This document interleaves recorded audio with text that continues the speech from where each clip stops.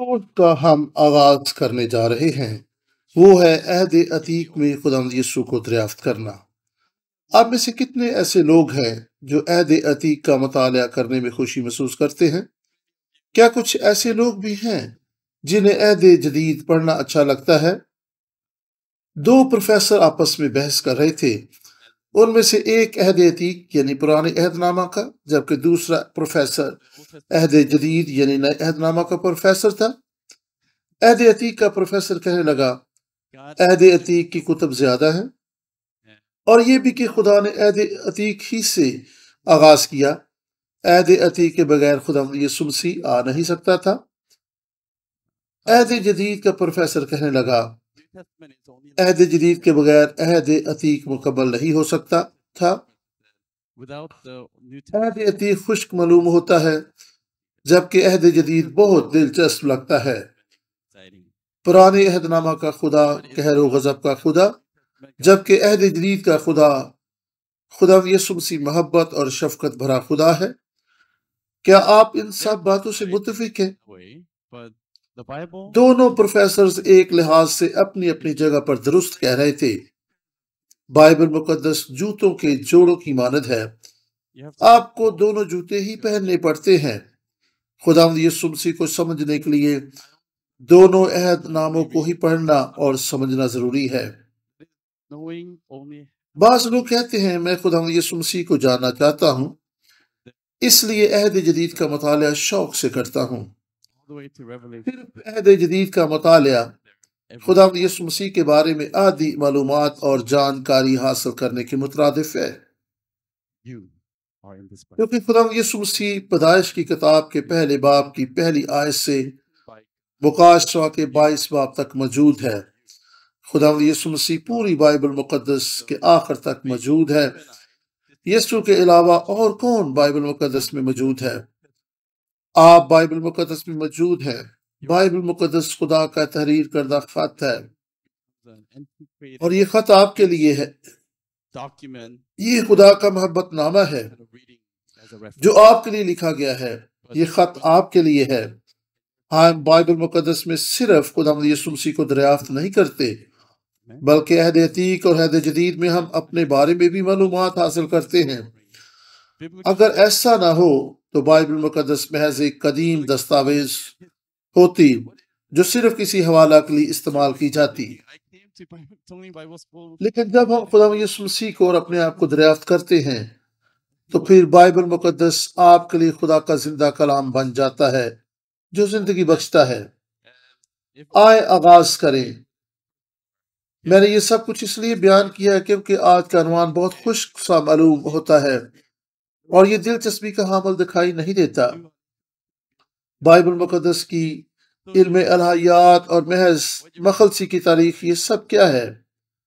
شاید آپ یہ سوچ رہے کہ میں بائبل سکول میں آیا ہوں، کیونکہ میں علم الہیات کی سیمنری جانے میں دلچسپی دلچسپی نہیں رکھتا تھا۔ یہاں پر ہم علم الہیات کا مطالعہ کرنے جا رہے ہیں۔ میں آپ سے وعدہ کرتا ہوں کہ اگر آپ کو یہ سب کچھ بور معلوم ہو تو یہ محض ابتدائی چاند لمحات کے لیے ہوگا۔ دعا گو رہے کہ یہ سب کچھ ہمارے لیے دلچسپی کا حامل ہو۔ بائبل مقدس کا علم الہیات اور مخلصی کے تاریخ۔ میں نے اس لیے علم الہیات الہیات کا تعارف کرایا ہے تاکہ آپ کو معلوم ہو کہ کیا ہم کیا سیکھنے جا رہے ہیں۔ آپ کیا پڑھ رہے ہیں؟ میں نے یہ سٹڈی تیار کرنے کے لیے کچھ کتابوں سے مدد بھی لی ہے۔ یہ بہت بڑی کتابیں ہیں جو بہت ہی اقتحٹ کا باعث اور غیر دلچسپ معلوم ہوتی ہیں۔ سکرین پر آپ کچھ کتابوں کی فہرست دیکھ رہے ہیں۔ آپ نے علم رایت کے موضوع پر مطالعہ کرنے کے لیے کسی کتاب کا چناؤ کرنا ہے تو آپ ہملٹن جے آر جیمز کی لکھی ہوئی کتاب کا چناؤ کریں۔ جس کا عنوان ہے بائبل مقدس کا علم الہیات کیا ہے۔ یہ کتاب پڑھنے میں آسان، دلچسپ اور ایک جامع کتاب ہے۔ یہ کتاب سمجھنے اور سیکھنے میں بھی آسان ہے۔ علم الہیات کے شعبہ جات۔ اگر آپ یہ سیکھ اور سمجھ جائیں تو آپ اپنے دوست احباب کو بھی علم الہیات کے بارے میں بتا پائیں گے۔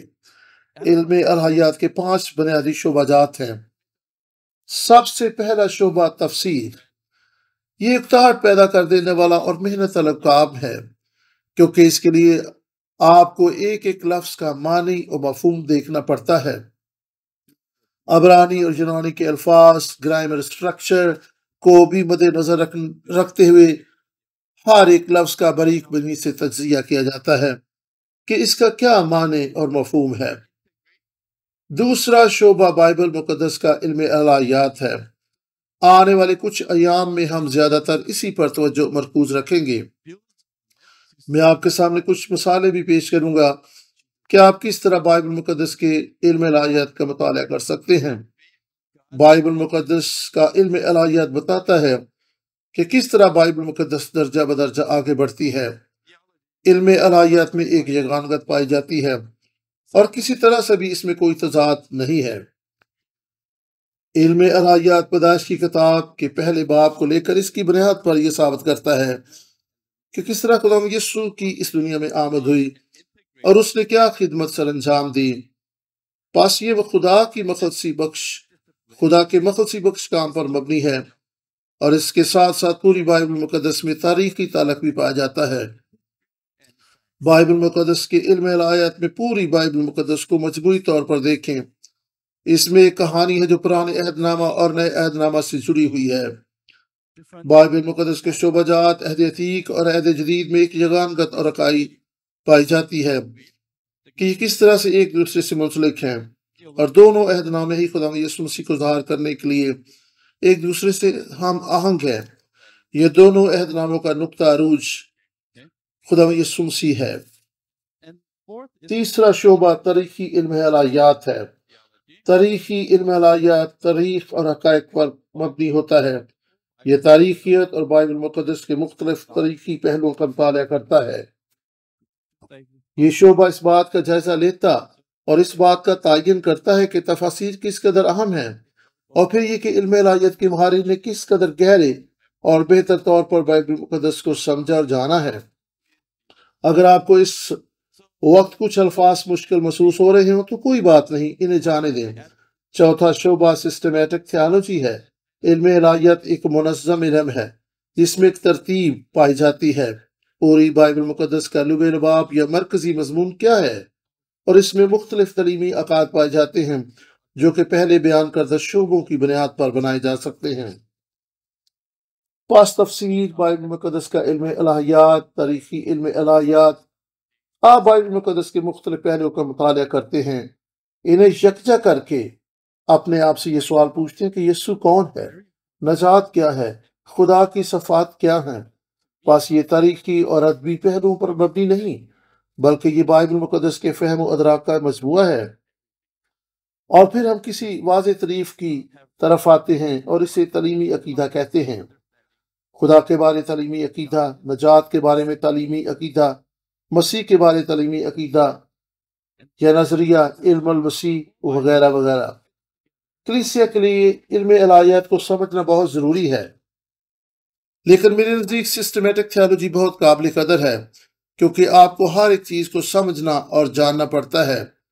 خدا کے بارے میں آپ جامع علم حاصل کرتے ہیں کہ وہ کون ہے؟ بائبل مقدس میں وہ کیا بیان کر رہا ہے؟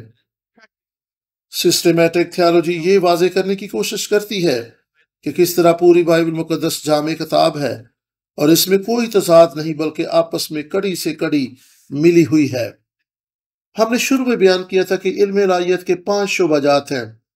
اب تک ہم نے تفسیر جی ہاں اور اس کے علاوہ کس شعبہ کو بیان کیا ہے؟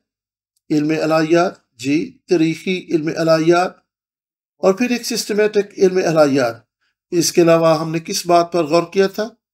اس کے بعد ہے عملی علم الہیات پریکٹیکل تھیالوجی یعنی عملی علم الہیات جن کا اطلاق ہم اپنی زندگی پر کر سکتے ہیں۔ علم الہیات کا یہ اصول اس بات کا مطالعہ کرتا ہے۔ کہ کس طرح خدا کے کلام کا اطلاق اور سسٹمیٹک علم الہیات کے فہم و ادراک کا اطلاق آج کے دور میں کسی فرد واد کی زندگی میں کیا جا سکتا ہے؟ آپ کس طرح اس کو سمجھتے اور اس پر عمل پیرا ہوتے ہیں؟ اسے زیادہ تر عملی مطالعہ کہا جاتا ہے کہ کس طرح ہم بائبل مقدس کو سمجھتے اور شخصی زندگیوں پر اس کا اطلاع کر سکتے ہیں؟ یعنی خدمت مشن ورک اور شخصی زندگی میں کس طرح کلام مقدس کا اطلاق کیا جا سکتا ہے؟ کس طرح میں اپنی شخصی زندگی پر خدا کے کلام کا اطلاع کرتا ہوں؟ دوسرے اہم نقطہ میں آئیں، بائبل مقدس کے علم الہیات کو مزید سمجھیں۔ بائبل مقدس کا علم الہیات ایک عمومی خاکہ کو لے کر نقطہ انقلاب پر توجہ مرکوز کرتا ہے، جو کہ بائبل مقدس کی سٹوری لائن میں ہوتا ہے۔ نقطہ انقلاب کے اہم نکات ہیں جو کہ سٹوری لائن میں ہوتے ہیں۔ خاکہ، تخلیق، زوال مخلصی اور بحالی، یا پھر تکمیل۔ تخلیق پدائش کی کتاب کے پہلے باب میں نظر آتی ہے۔ پدائش کی کتاب کے دوسرے باب میں خدا اور انسان کے درمیان تعلق اور رشتے کو بیان کیا گیا ہے۔ تیسرے باب میں ہم زوال کو دیکھتے ہیں۔ بنی نو انسان کا زوال۔ گناہ کا اس دنیا میں داخلہ۔ پدائش تین باب پندرہ آیت میں خدا عورت کی نسل کا وعدہ کرتا ہے۔ آنے والی مسیح کے تعلق سے پہلا وعدہ مسیح کے تعلق سے وعدہ۔ میں نے مخلصی اور نجات کے کام کا آغاز بیان کیا ہے۔ پھر ہم مقاشروں میں اس کی تکمیل کو دیکھتے ہیں۔ بائبل مقدس کا یہ عمومی خاکہ ہے۔ اس بات سے میں اور آپ کافی حد تک واقف ہیں۔ یہ کب ہوا؟ پہلے کیا ہوا تھا؟ اور اس کے نتیجہ میں کیا واقع ہوا تھا؟ وعدہ کیا گیا؟ خدا نے وعدہ کیا ہے۔ خدا یسو مسیح کا وعدہ ہے کہ وہ آئے گا۔ وہ کب آئے گا؟ میں وعدہ کرتا ہوں کہ اس سوال کا جواب نہیں دوں گا کہ وہ کب آئے گا۔ یہ تھے اصولی اور عارضی نکات جن کی بنیاد پر ہم سسٹمیٹک تھیالوجی کو دیگر معاملات کو مد نظر رکھتے ہوئے سمجھیں گے۔ مثال کے طور پر سسٹمیٹک تھیالوجی یہ پوچھتی ہے کہ صفات خداوندی کیا ہے؟ اس سوال کا وقت سے کوئی تعلق نہیں۔ یہ تو عام فہم باتیں ہیں۔ نجات کیا ہے؟ گناہ کیا ہے؟ لیکن علم الہیات ہمیشہ ایسے ہی سوال پوچھتا ہے، جن تک ہم بائبل کی سٹوری لائن تک رسائی حاصل کرتے ہیں۔ مخلصی کی تاریخ، بنیادی فہم و ادراک، یہ علم الہیات پوچھتا ہے۔ مثال کے طور پر یہ نبی کی معرفت کی گئی پیش گوئی۔ خدا کے بارے تعلیمی عقیدہ بیان کرنے کے لیے کیا کردار ادا کرتی ہے؟ کیا یہ قابل فہم بات ہے یا پھر کس طرح خروج اور فسا مسیح کی آمد کی پیش گوئی کرتے ہیں؟ یہی بائبل مقدس کا علم الہیات ہے۔ عہد عتیق میں ہونے والے واقعات میں آپ یسو کو کس طرح دیکھتے ہیں؟ ہم اسرائیل کی تاریخ کا مطالعہ نہیں کر رہے۔ ہم تو وہ کچھ سیکھ رہے ہیں جو خدا خدا چاہتا ہے کہ ہم جانیں اور سمجھیں۔ بائبل مقدس تاریخ کی کتاب نہیں۔ اگرچہ اس میں بہت زیادہ تاریخ موجود ہے، بائبل مقدس سائنس کی کتاب نہیں۔ اگرچہ اس میں سائنس موجود ہے، اس میں کچھ اختلافات پر مبنی سائنس بھی پائی جاتی ہے۔ اس بائبل مقدس کا مقصد سائنس کو ثابت کرنا نہیں، اور نہ ہی ہمیں تاریخ کے بارے میں بتانا ہے۔ یہ کوئی لٹریچر بک بھی نہیں ہے۔ بائبل مقدس نجات کی کتاب ہے۔ یہ تمام انسانوں کے لیے ہدایت نامہ ہے۔ جب ہم کوئی فون یا کوئی اور ڈیوائس لے کر آتے ہیں تو اس کے ساتھ یہ ہدایت نامہ بھی ہوتا ہے۔ آپ کب اس ہدایت نامہ کو پڑھتے ہیں؟ کوئی ایسا شخص ہے جسے ہدایت نامہ پڑھنا اچھا لگتے ہو؟ کیا کبھی ایسا ہوتا ہے کہ آپ فون ایک طرف رکھ کر ہدایت نامہ پڑھنا شروع کر دیں؟ کوئی ایسا شخص ہے جو ایسا کرتا ہو؟ آپ تو ہدایت نامہ اس وقت پڑھتے ہیں جب فون خراب ہو جاتا ہے یا کوئی ڈیوائس مناسب طریقہ سے چل نہیں رہی ہوتی، اپنی اپنی زندگی پر غور کریں۔ کیا سب کچھ ٹھیک چل رہا ہے؟ کیا آپ کی زندگی اسی طرح سے آگے بڑھ رہی ہے جس طرح اسے چلنا چاہیے؟ جب خدا نے ہمیں خلق کیا تھا تو اس نے ہمیں اپنی زندگی رکھنے کے لیے بنایا تھا۔ خدا نے ہمیں اطمینان، خوشی، شادمانی کے ساتھ زندہ رہنے اور خدا کے ساتھ کامل صلح اور رفاقت قائم رکھنے کے لیے خلق کیا تھا۔ کیا آپ کی زندگی انہی چیزوں کے ساتھ آگے بڑھ رہی ہے۔ کیا آپ یہ سب کچھ آپ کی زندگی آپ کی زندگی میں موجود ہے؟ نہیں، ایسا تو بالکل بھی نہیں۔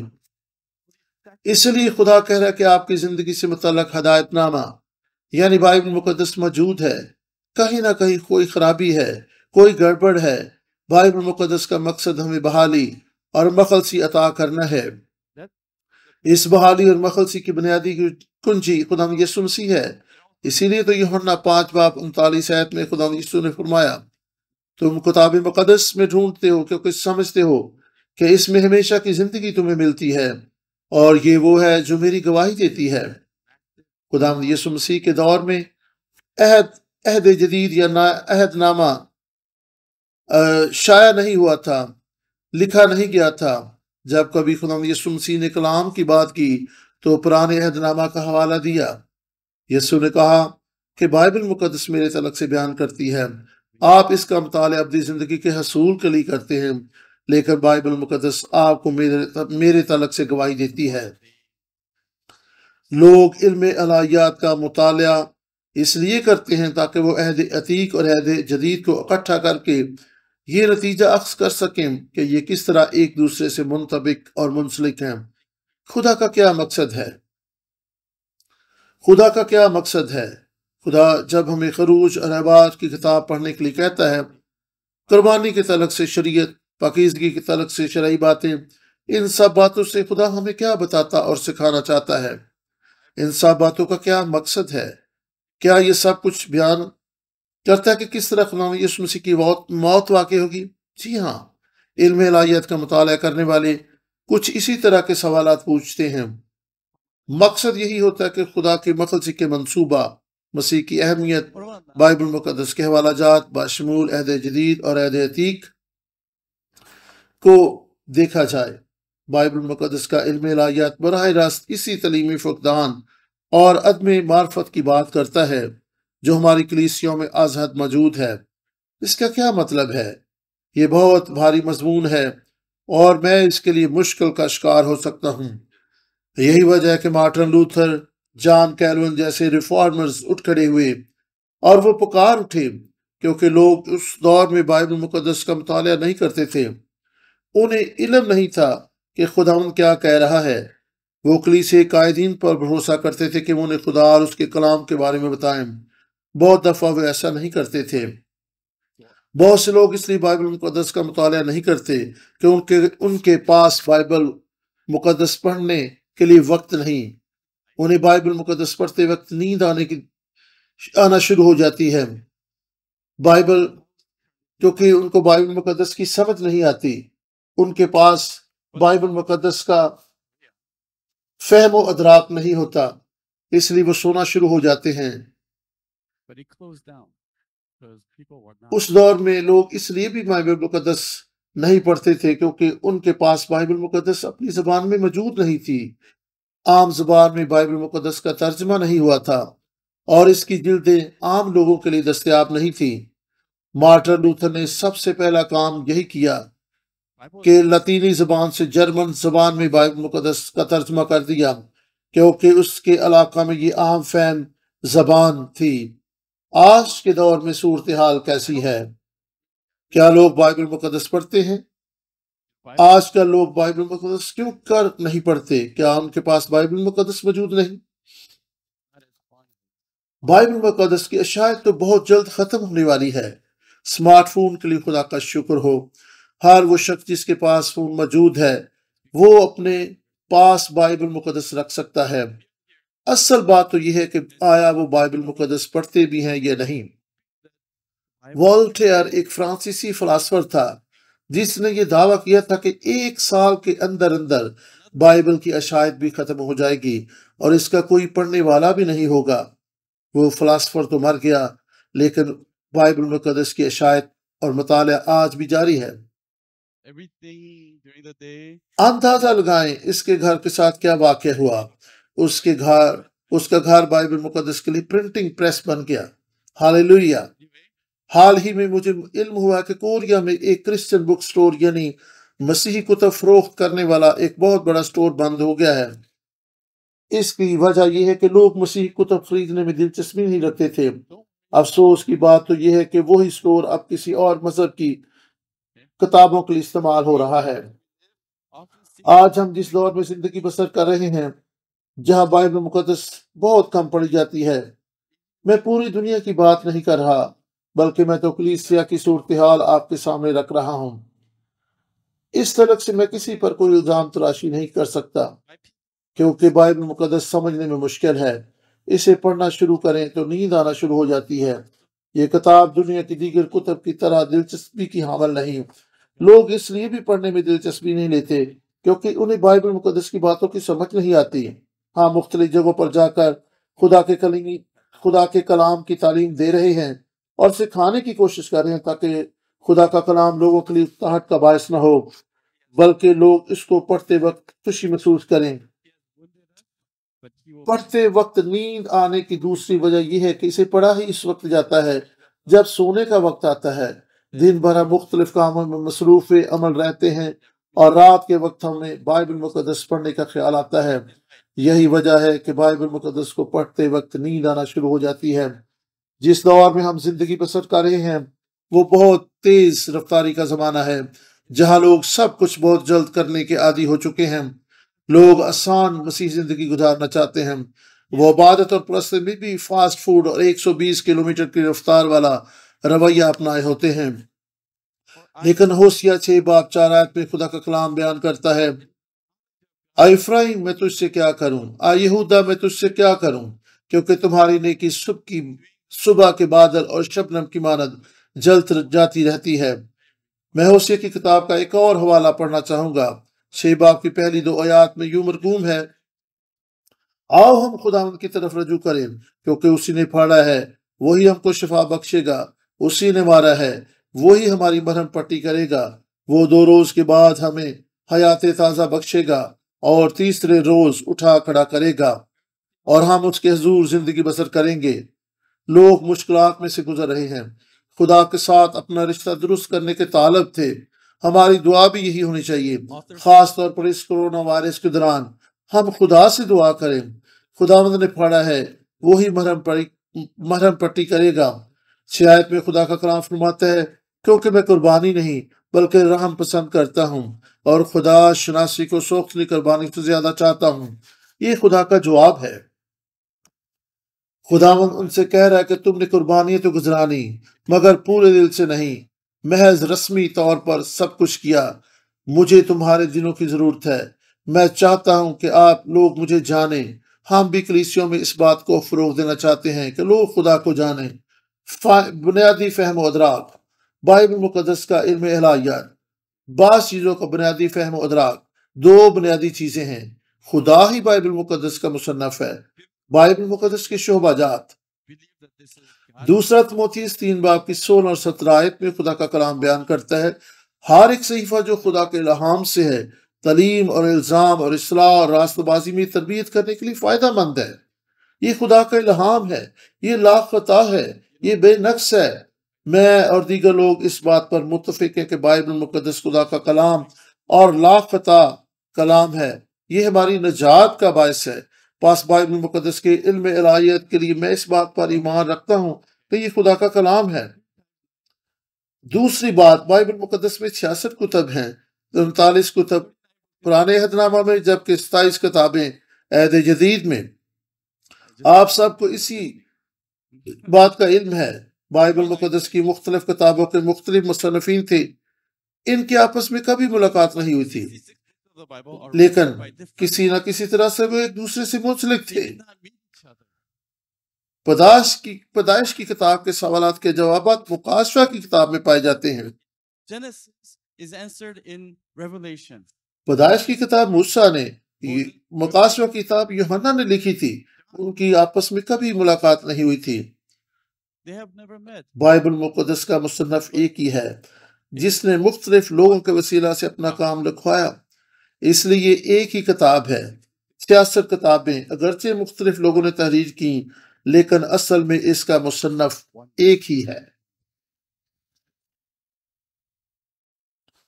مقصد مخلصی کی تاریخ ہے۔